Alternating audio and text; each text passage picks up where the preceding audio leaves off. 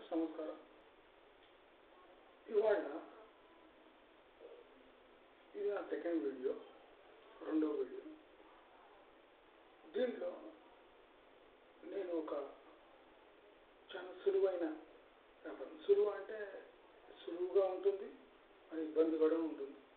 But రోజు పొద్దున ఒక ఐదు గంటలు అంటే నాలుగు టు తొమ్మిది పది లోపు మీరు మీకు నెలకు సరిపడా డబ్బు సంపాదించే ఒక మార్గాన్ని నేను చెప్పబోతున్నాను.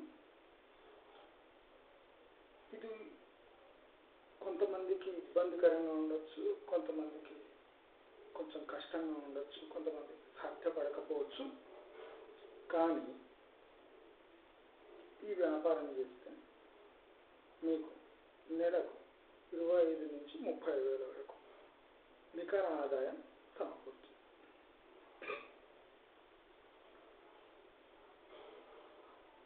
దీంట్లో మీకు నెలకు ఒక నెలకు తొంభై వేల రూపాయలు పెట్టుబడి అవసరం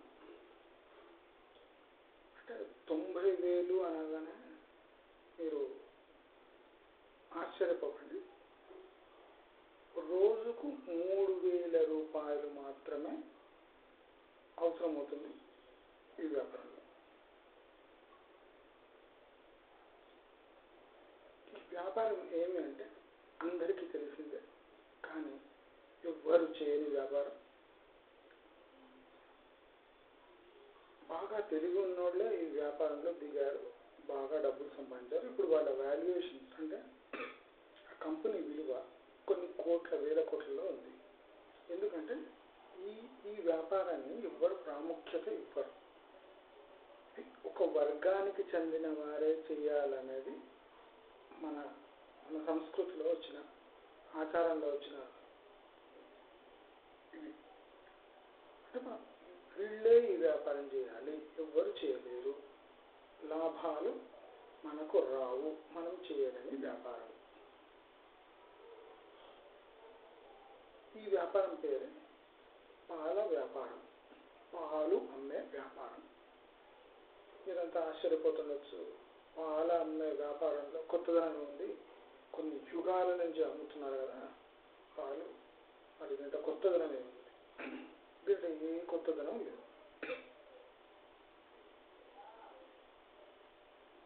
ఈ వ్యాపారం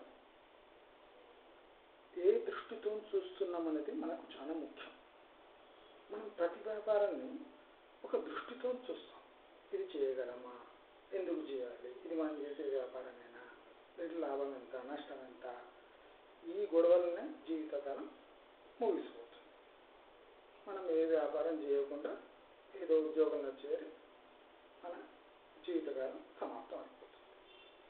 ఎవరైనా చిన్న చిన్న వ్యాపారం చేయదలిచిన వారు ఈ వ్యాపారం చేసుకోవచ్చు ఇది పాల వ్యాపారం మనకు తెలిసిన వరకు పాలు అనేది ఒకరోజు మాత్రమే నిల్వ ఉండే పదార్థం. ఒక్కరోజు లోపల ఇవి పాడైపోతాయి అని మనకు తెలిసిన మనకున్న ఇన్ఫర్మేషన్. కానీ ఈ పాలను ఎన్ని రోజుల వరకైనా నిల్వ ఉంచవచ్చు దాని ఖర్చులు వేరే ఉంటాయి. దట్ ఈస్ డిఫరెంట్ మనకు చేసి మనకు సంబంధం లేదు కానీ మనకు పాలు రోజు రోజు అవసరపడే అవసరం పడే పాలు ఎలా అమ్మాలి? దీంట్లో దీంట్లో మ్యాజిక్ ఏముందంటే మనం ఏ రకంగా ఈ బిజినెస్ చూస్తాం? మనం ఒక పాల వ్యాపారం చేయాలంటే సామాన్య బర్రె లేదా ఆవు కొనుక్కోవాలి దానికి మేత వేయాలి మేతకు స్థలం కావాలి. ఆ మేత వేసినాక ఆ పశువులను రోజు తిప్పాలి స్నానం పోయాలి మెయింటెనెన్స్ ఉంటుంది. షెడ్ కట్టియాలి. దానికి మందులు మాకు గడ్డి తౌడు దానికి కావాల్సిన సేవలు అన్నీ చేసి అప్పుడు పాలు పితికి ఆ పాలు తీసుకుపోయి అమ్ముతే కానీ డబ్బులు రావు. ఇది మనకు తెలిసిన వ్యాపారం. పాల వ్యాపారం నాకు తెలిసి ఇవన్నీ చేసేవాళ్ళు కొన్ని వేల లక్షల మంది ఉన్నారు. అంటే ఆవులు కొనుక్కోవడం బర్రెలు కొనుక్కోవడం దాన్ని సేవ చేయడం దాని పాలు పితకడం క్యాన్లో వేయడం అమ్ముకొని రావడం ఇవన్నీ జరుగుతూనే ఉన్నాయి. మనకు తెలిసిన పాల డైరీలు ఉన్నాయి. అవి నలభై నుంచి నలభై రెండు రూపాయలకు లీటర్ పాలు. వితౌట్ ఫ్యాట్ దాంట్లో ఫ్యాట్ ఏం ఉండదు. మూడు పాయింట్ ఐదు పర్సెంట్ ఫ్యాట్ ఉంటుంది. ఈ పాలు నలభై రెండు రూపాయలు. ఫుల్ ఫ్యాట్ ఉన్న పాలు యాభై నాలుగు నుంచి యాభై ఎనిమిది రూపాయల వరకు అమ్ముతున్నారు మన సిటీలో ఉన్న పాల పాలు తీసుకోవడం పోతే అరవై నుంచి డెబ్బై రూపాయలు ప్రతి లీటర్ వసూలు చేస్తుంది ఎందుకు అని అడగకూడదు మనం. వసూలు చేస్తున్నారు మనం ఇవ్వవలసింది. ఎందుకంటే మనకు వేరే ఆప్షన్ లేదు. మనం సిటీలో ఉన్నందుకు నోరు మూసుకొని అరవై నుంచి డెబ్బై రూపాయలు పర్ లీటర్ ఒక లీటర్ ఆవు పాలు. మీరు బర్రపల్లి చూడండి ఆవు పాలు మనం ఇవ్వవలసి వస్తుంది. సో ఈ దోపిడీని ఆపడానికి మనం ఒక వ్యాపారం మొదలు పెట్టవచ్చు ఈ వ్యాపారం ఎలా నడుస్తుంది? మీకు తెలుసో లేదు? సిటీ నుంచి వంద యాభై వంద నూట యాభై వంద వంద కిలోమీటర్ లోపు ఉన్న డైరీలు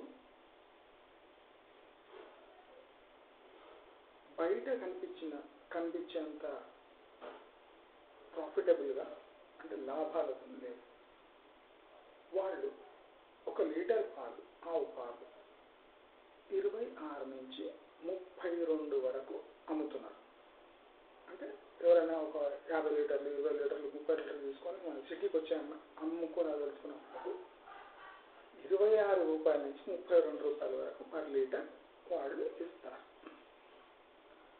దీంట్లోనే మనకు వ్యాపారం దాగి ఉంది మనము కొన్ని డైరీలను సంప్రదిస్తే పెద్ద డైరీలు దాంట్లో మిగిలిపోయి పోయే పాలు చాలా మంది చాలా ఉంటాయి అసలు అంటే వాళ్ళకి సేల్ అవుతలేవు ఆ పాలు. డిమాండ్ ప్రకారం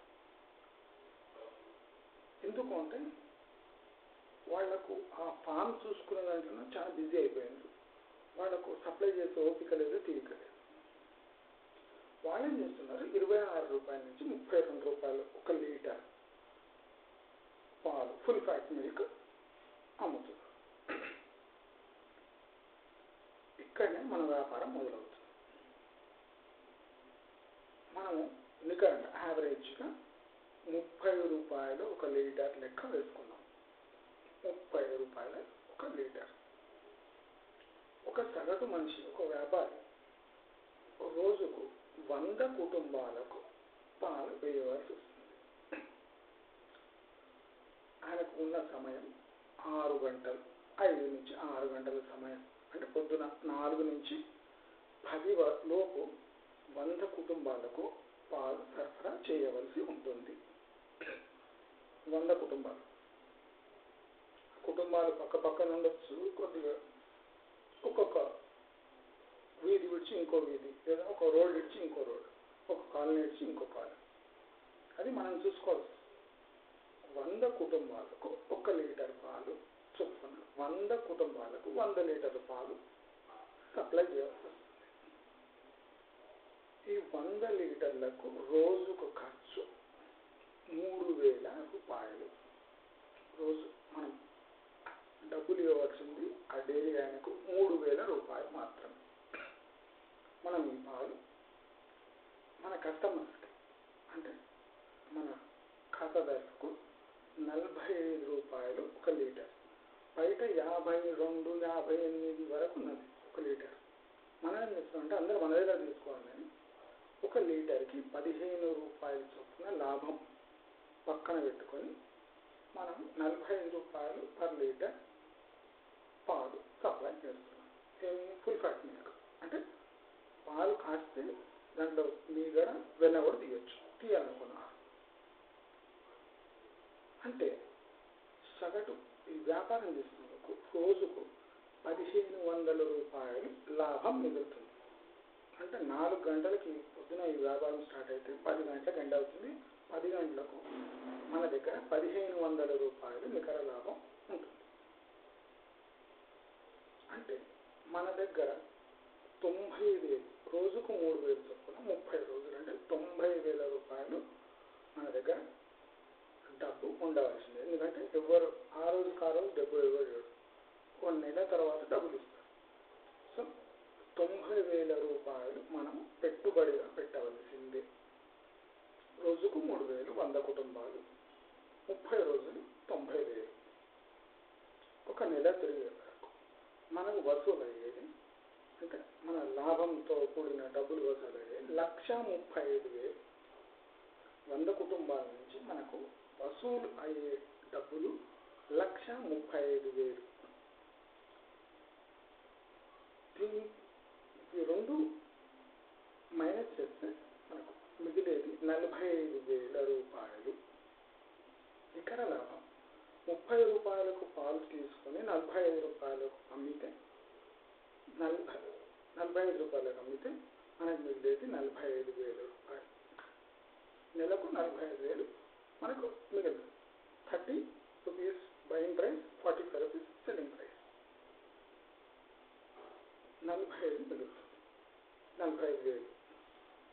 దాంట్లో రోజుకు ఆరు వందల రూపాయలు డీజిల్ ఖర్చు డీజిల్. అంటే సప్లై చేయడానికి మనం ఏం డీజిల్ యూజ్ చేస్తాం కదా రోజుకు ఆరు వందల రూపాయలు డీజిల్ ఖర్చుల కింద తీసి పక్కన పెట్టుకోవాలి ఆరు వందలు ఖచ్చితంగా. అంటే నెలకు పద్దెనిమిది వేల రూపాయలు డీజిల్ ఖర్చుల కింద తీసి పెట్టుకోవాలి. పదిహేను వందలు పద్దెనిమిది వేలు. అంటే రోజుకు ఆరు వందల ప్రకారం పద్దెనిమిది వేల రూపాయలు మనకు ట్రాన్స్పోర్టేషన్ ఛార్జెస్ అయితే మనం ఆ పాలు అక్కడ కస్టమర్స్కి ఇవ్వడానికి ఖర్చు అవుతుంది. పద్దెనిమిది వేలు తీసి మనకు నెలకు మిగిలేది ఇరవై ఏడు వేల రూపాయలు. ఇరవై ఏడు రూపాయలు ట్వంటీ ట్వంటీ సెవెన్ థౌసండ్. ఇరవై ఏడు వేలు డీజిల్ ఖర్చు తీసేసాక నెలకు ఒక రెండు వేలు మెయింటెనెన్స్ ఖర్చు. అంటే మనం పోయేది వచ్చేది దాని దానికి కావాల్సిన రిపేరు ఏమన్నా మన వెహికల్కి ఉన్న రిపేరు అవి నెలకు రెండు వేల రూపాయలు. మనకు మిగిలేది ఇరవై ఐదు వేల రూపాయలు. అంటే మీకు ఆశ్చర్యపోవచ్చు. ఇంత చేస్తే ఇరవై ఐదు వేలు మిగులుతాయా? మిగులుతాయి. కానీ మనం పని చేసేదంతా నాలుగు పొద్దున నాలుగు నుంచి పొద్దున నాలుగు నుంచి పొద్దున పది వరకే. ఈ ఐదారు గంటలే వ్యాపారం. పది నుంచి మీరు ఫ్రీ అంటే మీకు మీకు దీంతో సంబంధం లేదు. మీరు వేరే వ్యాపారాలు చేసుకోవచ్చు. అంటే ఒక సగటు మనిషి అనుకుంటే నెలకు ఇరవై ఐదు వేల రూపాయలు నికర లాభం పొందవచ్చు. బర్రెలు కడిగే అవసరం లేదు. బర్ర పెండే పెండ ఎక్కవలసిన అవసరం లేదు. మందులు ఇవ్వాల్సిన అవసరం లేదు. బర్రెలంట తిన అది వెంట వెళ్ళి దానికి మేత మేత కోసం బయటికి వెళ్ళే అవసరం లేదు తోలుకపోయే అవసరం లేదు వ్యాధులు వెనిచ్చే అవసరం లేదు. పాల నాణ్యత పాల నాణ్యత ఒక్కటే మనం పట్టించుకోవాల్సిన విషయం.